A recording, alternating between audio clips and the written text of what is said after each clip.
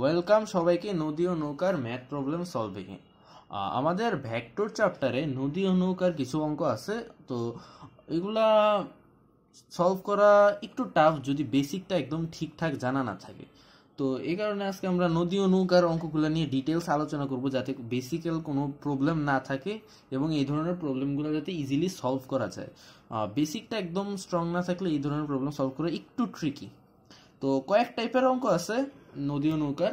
তো আমরা আস্তে আস্তে একটা একটা টাইপ ধরে ধরে অঙ্কগুলো করি এবং দেখি কীভাবে সলভ করতে হয়। তো আমরা প্রথম টাইপের অঙ্ক নেই ফার্স্টে টাইপ ওয়ান যে টাইপের অঙ্ক সবচেয়ে বেশি আসে আসলে পরীক্ষায় নর্মালি তো টাইপ ওয়ানের অঙ্ক হচ্ছে যে এই হচ্ছে একটা নদী। তো এখানে সাঁতারুর বেগ দেওয়া আছে, যে এবং স্রোতের বেগ দেওয়া আছে। ধরলাম যে স্রোতের বেগ হচ্ছে যে থ্রি কিলোমিটার পার আওয়ার ঠিক আছে? আর সাঁতারুর বেগ হচ্ছে যে টেন কিলোমিটার পার আওয়ার ঠিক আছে? এবং স্রোতের বেগের সাথে থার্টি ডিগ্রি কোণে, স্রোতের বেগের সাথে থার্টি ডিগ্রি কোণে সাঁতারু, সাঁতার কাটা শুরু করল। আর দেওয়া আছে যে, এই যে নদীর প্রস্থ, আমার নদীর প্রস্থ হচ্ছে যে পাঁচশো মিটার ঠিক আছে? তাহলে, আমার কোশ্চেনে জানতে চাওয়া হয়েছে যে সাঁতারু নদীর ওই পারে যখন পৌঁছবে তখন পার বরাবর কত দূরত্ব অতিক্রম করবে? অর্থাৎ সে তো তার লব্ধি বরাবর যাবে, ঠিক না? অর্থাৎ এই বরাবর যাবে এবং এখানে কোনো একটা বিন্দুতে এসে পৌঁছবে তাহলে এই পার বরাবর কতটুকু দূরত্ব সে অতিক্রম করল অ্যাকচুয়ালি অর্থাৎ এটা যদি যাত্রা বিন্দু যদি এ হয়, এটা যদি অপর সাইডের বিন্দু যদি বি হয়, আর এই বিন্দু যদি সি হয়, তাহলে আমাদের বের করতে হবে যে বিসি এর দৈর্ঘ্য কত? BC is equals to what ঠিক আছে? সে যেহেতু এই যে এই বরাবর গেছে, তাহলে এক্স বরাবর সে একটা দূরত্ব অতিক্রম করছে এবং ওয়াই বরাবর সে একটা দূরত্ব অতিক্রম করছে। তাহলে এই যে এক্স বরাবর যেই দূরত্বটা, এটাই জানতে চাওয়া হয়েছে। ঠিক আছে?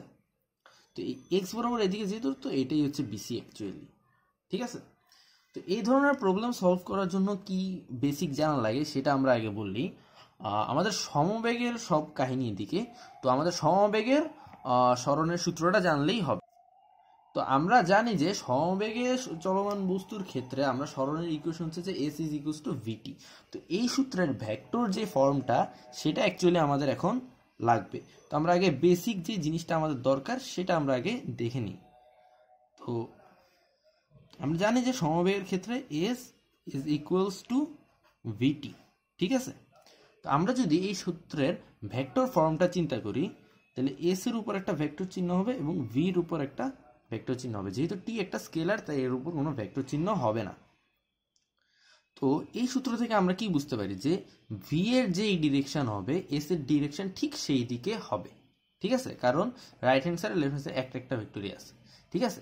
তাহলে আমি যেই ডিরেকশনে এস বের করতে চাই, অর্থাৎ সরণ যেই ডিরেকশনে বের করতে চাই ঠিক সেই দিকের বেগ আমাকে বসাইতে হবে। অন্য দিকের বেগ বসাইলে আমার হবে না। অর্থাৎ আমি যদি এসি বরাবর স্মরণ বের করতে চাই, তাহলে আমার ঠিক এসি বরাবরই বেগ বসাইতে হবে। ঠিক আছে? আর এই অঙ্কে আমার বিসি বরাবর, অর্থাৎ এক্স অক্ষ বরাবর স্মরণ বের করতে হবে। তাই আমার ঠিক এক্স অক্ষ বরাবর যেই বেগ আছে, সেটা এখানে বসাইতে হবে, তাইলে আমি এস পাবো। তো নদী নৌকা যে কোনো অঙ্কের জন্য এটা প্রযোজ্য যে মানে just S equals to VT সূত্রটা আমরা ঠিকঠাক করে বুঝব। এটার ভেক্টর ফর্মটা বুঝব এবং এই অনুযায়ী আমরা মান বসায় অঙ্ক করব। তো এখানে এসি টু ভিটি সূত্র আমরা দেখতেছি যেই বরাবর আমার ঠিক স্মরণ বের করতে হবে, ঠিক সেই বরাবর ভি বসাবো, আমরা মান পেয়ে যাব। তাহলে এই অঙ্কে আমাদের এক্স বরাবর দরকার স্মরণ, ঠিক না? যে কারণ নদীর পার বরাবর কতটুকু দূরত্ব অতিক্রম করে সেটা জানতে চাওয়া হয়েছে। তাহলে এস অফ এক্স দ্বারা যদি আমরা লিখি এটা, তাহলে S of X is equals to হবে যে ভি এক্স ইন্টু এই সূত্রের থেকে আমরা এস অফ এক্স পাবো, যেটা হচ্ছে এক্স বরাবর স্মরণ এখন ভি অফ এক্স আমরা বের করতে পারব কারণ আমাদের বেগগুলা জানা আছে, কিন্তু আমাদের তো টি জানা নেই। তাহলে টি আমরা কীভাবে জানব? আমাদের এস অফ এক্স জানা দরকার ভি অফ এক্স আমরা জানতে পারব, যেহেতু এদিকে দুইটা বেগ দেওয়া আছে, অ্যাঙ্গেলটাও দেওয়া আছে। তো এস অফ এক্স জানার জন্য টি দরকার, কিন্তু সেই টিটা আমাদের নাই। তো আমাদের অন্য আরেকটা ইনফরমেশন আছে, সেটা হচ্ছে যে নদীর প্রস্থ পাঁচশো মিটার। আচ্ছা আমার এই ওয়াই বরাবর স্মরণ কতটুকু? ঠিক এতটুকু না? সে এক্স বরাবর এতটুকু দৈর্ঘ্য গেছে। এখানে যদি আমি ডি আর একটা বিন্দু নেই, তাহলে এই এডি সমান বিসি তাই এডি হচ্ছে এক্স বরাবর সরণ সমান বিসি তাই আমরা বিসি ইউজ টু ওয়াট লিখছি যে পার বরাবর সরণ হচ্ছে এইটা। আবার নদীর প্রস্থ বরাবর সরণ হচ্ছে সিডি যেটা এস অফ ওয়াই লিখতে পারি আমরা, আর প্রস্থ বরাবর সরণ নদীর প্রস্থের সমান না, কারণ A B equal to CD তো আমরা অ্যাকচুয়ালি যে জিনিসটা জানি, এটা হচ্ছে এস অফ ওয়াই সমান সমান আমাদের পাঁচশো মিটার। এস অফ ওয়াই যেটাকে আমরা লিখতে পারি পয়েন্ট ফাইভ কিলোমিটার ঠিক আছে? তাহলে এস অফ ওয়াই তাহলে ওয়াই বরাবর আমার স্মরণ জানা আছে, আর আমার যেহেতু বেগগুলা জানা আছে তো আমি ওয়াই বরাবর বেগও নির্ণয় করতে পারব। তো আমি সেম সূত্রটা যদি ওয়াই অক্ষ বরাবর নিই, তাহলে আমরা কি বুঝি? S of Y is equals to V of Y into T V of Y আমরা বের করতে পারব যেহেতু বেগ জানা আছে, আর এস অফ ওয়াই আমাদের দেওয়া আছে, এখান থেকে আমরা টিটা পেয়ে যাব। এখান থেকে টি পেলে আমরা এই টি যদি এখানে বসায় দেই তাহলে আমরা এস অফ এক্স পেয়ে যাব। আচ্ছা আমরা এখান থেকে টি পাবো, তো এস অফ ওয়াই জানা আছে ভি অফ ওয়াই আমরা বের করতে পারব, এখান থেকে টি পাবো। এই টি যদি এখানে বসায় দেই তাহলে ভি অফ এক্সের সাথে গুণ করে আমরা এস অফ এক্স পাবো, যেটা হচ্ছে আমার কাঙ্ক্ষিত কি অ্যান্সার এই যে বিসি ঠিক আছে? পার বরাবর কতটুকু গেছে? সে গেছে এখান থেকে দিকে তাহলে পার বরাবর এতটুকু জায়গা গেছে, ঠিক আছে? তো আমরা করি তাহলে ফার্স্টে আমাদের জানা দরকার ভি অফ এক্স আর ভি অফ ওয়াই আমরা কীভাবে বের করব। তো ভি অফ এক্স মানে হচ্ছে যে এক্স বরাবর বেগের উপাংশগুলো, ঠিক আছে? এক্স বরাবর বেগের উপাংশগুলো। কেন আমরা ভি এক্স নিতেছি? কারণ হচ্ছে এই যে এস ইকুয়াস টু ভিটির ভেক্টর ফর্মটা যে যেই বরাবর সরণ ক্যালকুলেট করতে হবে, সেই বরাবর বেগ নিতে হবে। তাই এতে যতগুলো বেগ আছে, তাদের এক্স বরাবর উপাংশগুলো হচ্ছে ভি এক্স এগুলো নিতে হবে আমাকে। তাহলে আমি ভি এক্স নেই V X is equals to প্রথমে একটা বেগ আছে থ্রি কিলোমিটার পার আওয়ার এটা এক্স অক্ষের সাথে জিরো ডিগ্রি কোণ করে আছে, ঠিক আছে? আমরা এই বরাবর এক্স অক্ষ আর এই বরাবর ওয়াই অক্ষ চিন্তা করতেছি। তাহলে এক্স অক্ষের সাথে সে জিরো ডিগ্রি কোণে আছে। তাহলে এই বেগের এক্স বরাবর উপাংশ হবে যে থ্রি কস জিরো ডিগ্রি ঠিক আছে? আর টেন কিলোমিটার পার আওয়ার যে বেগটা, তার এক্স বরাবর উপাংশ হবে যে টেন কস থার্টি ডিগ্রি ঠিক আছে? একইভাবে আমি যদি ভি অফ ওয়াই চিন্তা করি, তাহলে V of Y is equal to হবে যে three sine zero degree plus ten sine thirty degree এটা আপনারা ভেক্টরের বেসিক থেকে জানেন, ঠিক আছে? আচ্ছা। তাহলে ভি এক্স আর ভিওয়াই পেয়ে গেলাম, তাহলে এবার আমরা এস অফ ওয়াই যেহেতু আমাদের জানা আছে এত, ঠিক আছে? আচ্ছা এখান থেকে আমরা ক্যালকুলেটরের মাধ্যমে মানগুলা বের করে নিব। তো ক্যালকুলেট করলে আমরা পাচ্ছি যে ভি এক্সের মান দ্বারা যে ইলেভেন পয়েন্ট সিক্স সিক্স এটা কিলোমিটার এককে আসবে। যেহেতু আমরা সব কিছু kilometre per hour sorry kilometre per hour এককে আসবে। যেহেতু আমরা সব কিছু কিলোমিটার পার আওয়ার নিচ্ছি, এটা আসবে ফাইভ কিলোমিটার পার আওয়ার ঠিক আছে? তো আমার এখন এখান থেকে টিটা জানা দরকার, কারণ এই সূত্র থেকে আমি অ্যাকচুয়ালি জানব অ্যান্সার তো এখানে টিটা নাই, তো ওই টি জানার জন্যই আসলে আমার এই জিনিসটা দরকার, ঠিক আছে? তাহলে আমরা লিখি এবার S of Y is equals to V Y into T তাহলে টি ইজ ইকুয়ালস টু হবে যে S of Y by V of Y তো এস অফ ওয়াই এর মানও আমাদের জানা আছে ভি অফ ওয়াই এর মানও আমাদের জানা আছে। তো এখান থেকে যদি আমরা ক্যালকুলেট করি, তাহলে আমাদের আসবে যে জিরো পয়েন্ট ওয়ান আওয়ার আওয়ারে কেন আসলো? কারণ আমাদের, আমরা তো সব কিলোমিটার এবং কিলোমিটার পার আওয়ারেই নিচ্ছি। এই কারণে এস অফ ওয়াইও কিলোমিটারে নিছিলাম। তাই এটা আসছে আওয়ার এককে। ঠিক আছে? টি তো এবার যদি আমরা সেটা S of X equals to V X T এই সূত্রে বসাই দিই, তাহলে ভি এক্সের মান আমরা জানি eleven point six six into টির মান আমরা জানি জিরো পয়েন্ট ওয়ান তাহলে এখানে আসবে যে one point one six six kilometre অর্থাৎ সাঁতারু নদীর পার বরাবর one point one six six kilometre দূরত্ব যাবে এদিকের দিকে ঠিক আছে? আচ্ছা। তো এভাবে আমরা এই টাইপের যে কোনো ধরনের প্রবলেম সলভ করতে পারি। যে নদীর প্রস্থ দেওয়া থাকবে এবং বাকি সব ইনফরমেশন দেওয়া থাকবে পার বরাবর কতটুকু দূরত্ব যাবে। অথবা এমনও প্রশ্নে থাকতে পারে যে নদীর পার বরাবর এত দূরত্ব গেছে, একটা মান দেওয়া আছে, নদীর প্রস্থ বের করো। তো সেই ক্ষেত্রে কি হবে? সেই ক্ষেত্রে আমরা, আমাদের এস অফ এক্সটা জানা থাকবে। কারণ নদীর পার বরাবর কতটুকু দূরত্ব গেছে, সেটা হচ্ছে এস অফ এক্স সেটা জানা আছে আমার। ঠিক আছে? আর ভি এক্স তো আমরা এভাবে বের করব। তাহলে এখান থেকে আমরা টিটা বের করব। তখন এস অফ ওয়াই এর মান বের করব আমরা ভি অফ ওয়াই আর টির মান বসে। ঠিক আছে? তখন এখান থেকে টি বসে বসে এস অফ ওয়াই বের করব। আর এখন কি? এখান থেকে টি বের করছি, বের করে সেটা এখান থেকে এস অফ এক্স বের করছি। ঠিক আছে? জাস্ট উল্টা কাজটা করতে হবে। তো এই ছিল টাইপ ওয়ানের প্রবলেম এই টাইপের প্রবলেমে মানুষের ঝামেলা হয় বেশি। সামনে যে টাইপগুলো আছে, এতটা ঝামেলা হয় না। তো আমরা দেখি সামনে আর কি টাইপের ম্যাথ প্রবলেম আছে। তো আমরা টাইপ টু এর ম্যাথ প্রবলেম সলভ করব। এই ধরনের প্রবলেমে নর্মালি স্রোতের বেগ দেওয়া থাকে। যে এই দিকের দিকে স্রোতের বেগ চলছে। তো এই স্রোতের বেগ দেওয়া থাকে আমরা ধরি যে স্রোতের বেগ হচ্ছে যে সিক্স কিলোমিটার পার আওয়ার ঠিক আছে? স্রোতের বেগ। আচ্ছা আর আমার সাঁতারুর বেগ দেওয়া থাকবে। ধরলাম যে সাঁতারু এই দিকের দিকে। কোশ্চেনটা হচ্ছে যে, কত কোণে, সাঁতারু কত কোণে যাত্রা করলে সরাসরি অপর পারে যেয়ে পৌঁছবে মানে লম্বা লম্বিভাবে অপর পারে যেয়ে পৌঁছবে মানে তার লব্ধিটা এদিকের দিকে হবে। ঠিক আছে?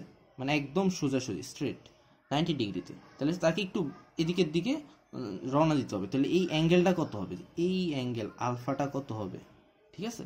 Alpha is equals to what এখানে থিটা হবে নাইনটি ডিগ্রি ঠিক আছে? Theta is equals to ninety degree আর এই সাঁতারুর বেগ দেওয়া থাকবে। আমরা এদিকে বারো কিলোমিটার পার আওয়ার নিলাম সাঁতারুর বেগ। তাহলে কোশ্চেনে থাকবে যে স্রোতের বেগ দেওয়া আছে সাঁতারুর বেগও দেওয়া আছে, সাঁতারু কত কোণে যাত্রা করলে ঠিক সরাসরি অপর প্রান্তে যাওয়া পৌঁছবে? মানে একদম নাইনটি ডিগ্রিতে অপর প্রান্তের বিন্দুতে যাওয়া পৌঁছবে, সেটা বের করতে হবে, আমাদের ক্যালকুলেট করতে হবে কত কোণে যাত্রা করতে হবে। তো এটা যেহেতু আমরা লব্ধির সাথে একটা বেগের অ্যাঙ্গেল জানি, তো আমরা লব্ধির অ্যাঙ্গেল নির্ণয় যে সূত্র, সেখান থেকে আমরা আলফা বের করতে পারি। সেটা হচ্ছে যে আমরা পড়ছি যে tan theta is equals to Q sine alpha by P plus Q cos alpha. তো এখানে আমাদের থিটা জানা আছে, পি আর কিউ দুইটা ভেক্টর ভেক্টর দ্বয় জানা আছে আমাদের সিক্স আর টুয়েলভ তো তাহলে এখান থেকে আমরা আলফা ইজিলি বের করতে পারব। তো এখানে কোনটাকে পি ধরবো আর কোনটাকে কিউ ধরবো? আমরা জানি যে এই সূত্রে থিটা, থিটাটা হিসাব করা হয় পির সাথে, ঠিক আছে? পির সাথে থিটাটা থাকে। তাহলে অবশ্যই এটাকে আমার পি ধরতে হবে এবং ওইটাকে কিউ ধরতে হবে, ঠিক আছে? তো আমরা মান বসাই তাহলে থিটার মান আমাদের টেন নাইনটি ডিগ্রি থিটার মান নাইনটি ডিগ্রি তাহলে এখানে হবে টেন নাইনটি ডিগ্রি ঠিক আছে? আচ্ছা ইজ ইকুয়ালস টু আর এদিকে কিউ সাইন আলফা আমরা মান পরে বসাচ্ছি ওইদিকে জাস্ট আমার আলফার মানটা জানা দরকার। E plus Q cos alpha এখন টেন নাইনটির মান তো অসংজ্ঞায়িত, তাহলে আমরা এদিকে কি বসাবো এখন? আচ্ছা টেন নাইনটি জিনিসটা কোথা থেকে আসছে? Sine ninety by cos ninety থেকে, ঠিক না? তাহলে সাইন নাইনটির মান কত? সাইন নাইনটির মান হচ্ছে ওয়ান আর কস নাইনটির মান হচ্ছে জিরো তাহলে আমরা লিখতে পারি টেন নাইনটি জায়গায় ওয়ান বাই জিরো যেহেতু sine ninety by cos ninety tan ninety সমান সমান। তাহলে আমরা এখানে লিখতে পারি যে one by zero is equals to Q sine alpha by P plus Q cos alpha ঠিক আছে? এখন আমরা যদি আড়াআড়ি গুণ করি, তাহলে আমরা পাবো যে P plus Q cos alpha is equals to zero ঠিক আছে? তো এখান থেকে যদি আমরা ক্যালকুলেট করি, তাহলে আমরা cos alpha is equals to পাবো যে মাইনাস পি বাই কিউ ঠিক আছে? যেখানে পি হচ্ছে যে আমার কি? স্রোতের বেগ, এবং কিউ হচ্ছে যে কি? সাঁতারুর বেগ। তো এখানে যদি আমরা মান বসায় দেই, তাহলে পাবো যে cos alpha is equals to minus half কারণ পির মান হচ্ছে ছয় আর কিউর মান হচ্ছে বারো। তো এখান থেকে আমরা পাবো যে ক্যালকুলেটারের মাধ্যমে আলফা ইজ ইকুয়ালস টু একশো বিশ ডিগ্রি কারণ কস একশো বিশ ডিগ্রির মান মাইনাস হাফ তো এই হচ্ছে আমাদের অ্যান্সার যে সে যদি একশো বিশ ডিগ্রি কোনো এখানে যাত্রা করে, তো তাহলে সে সরাসরি অপর প্রান্তে গিয়ে পৌঁছবে। তো এই অঙ্কটা যদি এমসিকিউতে আসে এমসিকিউতে আসতে পারে, তো এমসিকিউতে যদি আসে, তাহলে এই লাইনটা আমরা শর্টকাট হিসেবে ইউজ করতে পারব। ঠিক আছে? এই লাইনটা আমরা শর্টকাট হিসেবে ইউজ করতে পারব, যেখানে উপরে থাকবে সাঁতারুর বেগ সরি স্রোতের বেগ এবং নিচে থাকবে সাঁতারুর বেগ, ঠিক আছে? এভাবে আমরা এই জিনিসটা এমসিইউতে আসলে এই লাইনটাকে আমরা শর্টকাট হিসাবে ইউজ করতে পারব। আর যদি সৃজনশীলে আসে, তাহলে এই পুরো কাজটা করে দেখাতে হবে, ঠিক আছে? আচ্ছা আর সব সময় যদি সাঁতারুর বেগ স্রোতের বেগের থেকে ডাবল হয়, তাহলে সব সময় আমার অ্যান্সার কি? একশো বিশ ডিগ্রি আসবে। ঠিক আছে? এই কারণে বেশিরভাগ অঙ্কে দেখা যায় যে ডাবল দেওয়া থাকে, এই কারণে একশো বিশই অ্যান্সার আসে। তবে সব অঙ্কে একশো বিশ এমন কোনো কথা নেই। এটা পি আর কিউর মানের উপর ডিপেন্ড করে। তো এটাও খুবই কমন একটা অঙ্ক, গ নাম্বারে আসে সৃজনশীলে। তো আশা করি এটা বুঝার কথা। তাহলে আমরা এবার পরবর্তী টাইপে চলে যাই। তো আমরা টাইপ থ্রি এর ম্যাথ প্রবলেম নিয়ে হাজির হলাম। এখানে স্রোতের বেগ ফোর কিলোমিটার পার আওয়ার দেওয়া আছে, আর সাঁতারুর বেগ টেন কিলোমিটার পার আওয়ার দেওয়া আছে, কিন্তু সে কত কোণে যাত্রা করবে সেটা আমরা জানি না, ঠিক আছে?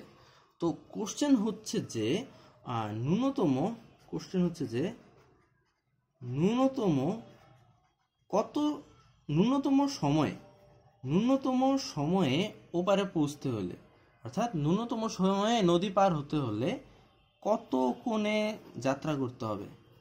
কত কোণে যাত্রা করতে হবে, ঠিক আছে? অর্থাৎ তাকে, সে যদি এই আলফা কোণে যাত্রা করলে ন্যূনতম সময় ওই পারে পৌঁছে, তাহলে এই আলফার মান কত, ঠিক আছে?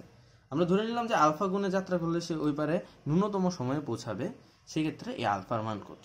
এবং কোশ্চেনে আরেকটা জিনিসও থাকবে, সেটা হচ্ছে যে এই ন্যূনতম সময়ও কত, ঠিক আছে? এটা যদি আমরা টি মিনিমাম লিখি, তাহলে এই T minimum is equals to what ঠিক আছে? এই দুইটা জিনিস আমাদের জানতে হবে যে ন্যূনতম সময় যদি সে নদী পার হতে চায়, তাহলে তাকে কত কোণে যাত্রা করতে হবে এবং এই ন্যূনতম সময় কত? ঠিক আছে? তো আমাদের ইনফরমেশন জানা আছে যে ওয়ান কিলোমিটার হচ্ছে নদীর প্রস্থ। আচ্ছা আমরা আগের অঙ্ক থেকে দেখছি যে নদীর প্রস্থ হচ্ছে যে কি? আমার ওয়াই বরাবর সরণের সমান। ঠিক আছে? অর্থাৎ এস অফ ওয়াই তাহলে এস অফ ওয়াই আমাদের জানা আছে, আমাদের টি মিনিমাম জানতে হবে। টি মিনিমামের জন্য অ্যাঙ্গেল জানতে হবে, এরপরে টি মিনিমাম জানতে হবে। তো আমাদের কি জানা আছে? আমরা আগে দেখি যে S of Y is equals to জানা আছে আমার ওয়ান কিলোমিটার ঠিক আছে? তো এস অফ ওয়াই থেকে যদি আমরা টি বের করতে চাই, তাহলে আমাদের ভি অফ ওয়াই জানা লাগবে। তাহলে আমরা ভি অফ ওয়াইটা জেনে নেই।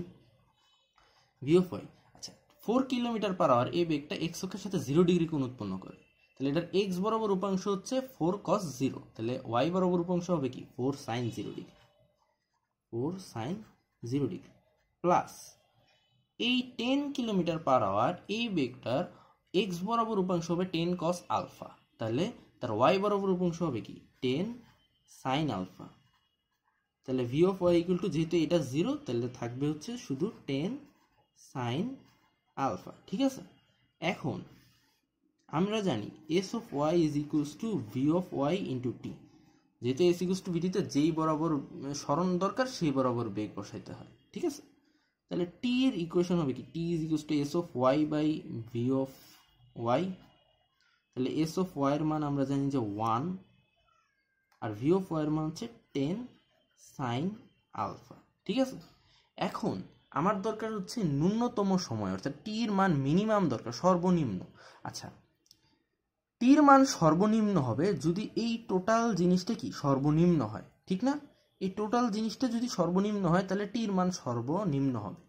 এর মধ্যে উপরের জিনিসটা ধ্রুবক, তো সর্বনিম্ন এটা কি? নিচের জিনিসটা। তাহলে নিচের জিনিসটা যেটা, এটা হচ্ছে হর।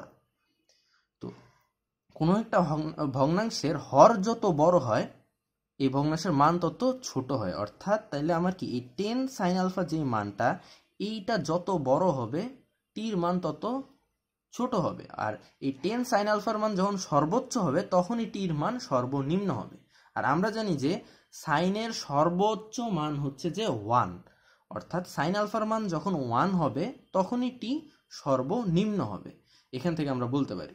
আর সাইন আলফার মান ওয়ান কখন হয়? যখন alpha is equals to ninety degree তাহলে আমরা এখান থেকে পেলাম যে alpha is equals to ninety degree কারণ আলফা যখন নাইনটি ডিগ্রি হবে, তখনই এই মানটা সর্বোচ্চ হবে এবং টির মান সর্বনিম্ন হবে। তাহলে সর্ব আর টি তাহলে এটা আমরা পেয়ে গেলাম অ্যাঙ্গেলটা। আর টি মিনিমাম আমরা কি বের করব? টি মিনিমামের জন্য আমরা কি জানলাম? সাইন আলফার মান ওয়ান তাহলে টি মিনিমাম ইকুয়ালস টু কি হবে?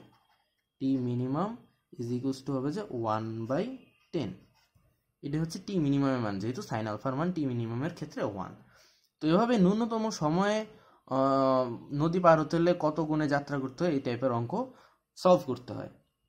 এছাড়া আরেকটা আসে যে ন্যূনতম দূরত্বে যদি পার হতে চায়, তাহলে তাকে কীভাবে কত কোণে যাত্রা করতে হবে এবং সেই ক্ষেত্রে সময় কত লাগবে? তো আমরা জানি যে ন্যূনতম দূরত্ব দুইটার সরলরেখার মধ্যে ন্যূনতম দূরত্ব হচ্ছে যে তাদের লম্ব দূরত্ব, ঠিক আছে? তাহলে ন্যূনতম দূরত্বে যদি সে পার হতে চায় তাহলে তাকে অবশ্যই লব্ধিটা তার ন্যূনতম দূরত্ব অর্থাৎ কি? এভাবে লম্বালম্বি হতে হবে লব্ধি, আর লম্বালম্বি লব্ধিটা পাওয়ার জন্য তাকে এভাবে যাত্রা করতে হবে, অর্থাৎ ওই টাইপ টু এর অঙ্কটা। অর্থাৎ ন্যূনতম দূরত্বে পৌঁছাতে হলে তার যেই কোণে যাত্রা করতে হবে, সেটা হচ্ছে তার ঠিক টাইপ টু এর অঙ্কটা যেটা এটাই, যে তার সাঁতারুর বেগ এদিকে হবে এবং সেখান থেকে আমার কি লব্ধিটা এখানে হবে, লব্ধিটা এখানে হবে ওইখান থেকে আমার আলফাটা বের করতে হবে। অর্থাৎ টাইপ টু এর, পুরো টাইপ টু এর অঙ্কটা তো ন্যূনতম দূরত্বের অঙ্ক এভাবে করা যায় আর ন্যূনতম সময়ের অঙ্ক এইভাবে করতে হয়। ঠিক আছে? তো আর একটা টাইপ আছে, সেই টাইপটা আমরা দেখি, তাহলে নদী আর নৌকার সব অঙ্ক আমাদের কমপ্লিট হয়ে যাবে। তো টাইপ ফোরের প্রবলেমটা হচ্ছে একদম সিম্পল একটা প্রবলেম এটা হচ্ছে যে সাঁতারুর বেগ আমার জানা আছে। ঠিক আছে? কিন্তু স্রোতের বেগ আমার জানা নেই, ওটা ইউ ধরলাম আমরা, স্রোতের বেগ জানা নেই, আর লব্ধি তার, সে লব্ধি হচ্ছে যে নাইনটি ডিগ্রিতে, অর্থাৎ সে ঠিক লম্ব বরাবর যায়। সে এমন একটা অ্যাঙ্গেল যায় যাতে তার লব্ধি নাইনটি ডিগ্রি হয় এবং লব্ধির মানও আমাদের জানা আছে, তাহলে স্রোতের বেগ কত? তো এটা একদম ইজিলি সিম্পলি এটা সলভ করা যায়। এটা হচ্ছে যে এখানে যদি আমরা একটা সামান্তরিক অঙ্কন করি, এখানে এভাবে সামান্তরিকটা যদি অঙ্কন করি তাহলে এই বাহুটা আর এই বাহুটা সেম ঠিক না? তাহলে এই বাহুটাকে আমি ইউ লিখতে পারি, এই যে। আর এই বাহুটা হচ্ছে ফোর সেটা আমার লব্ধিটা, ঠিক আছে? এটা হচ্ছে সামান্তরিক একটা কর্ণ, ঠিক আছে? আর এইটা হচ্ছে যে আমার কি? স্রোতের বেগ, তাইলে। আচ্ছা। তো এখানে জাস্ট আমি পিথাগোরাস যদি অ্যাপ্লাই করি, তাইলে আমি ইউর মান থ্রি পেয়ে যাব। ইউ ইজ টু থ্রি হবে। কারণ চার স্কোয়ার যোগ তিন স্কোয়ার সমান পাঁচ স্কোয়ার হবে, ঠিক আছে? তো এইভাবে জাস্ট সিম্পলি এই টাইপের ম্যাথ সলভ করা যায়। তো এই ছিল নদী নৌকা সংক্রান্ত বেসিক সকল টাইপের অঙ্ক। আর তেমন টাইপের কোনো অঙ্ক নাই। তো এইগুলো করলেই মোটামুটি গমন পাওয়া যাবে। তো আশা করি সবাই বুঝতে পারছেন টাইপ ওয়ানটাই বেশি ইম্পর্টেন্ট ওইটা বুঝলে মানে বাকিগুলা ইজিলি বোঝা যায়। তো আমাদের সাথে থাকার জন্য ধন্যবাদ। দেখতে থাকুন আমাদের চ্যানেল ধন্যবাদ সবাইকে।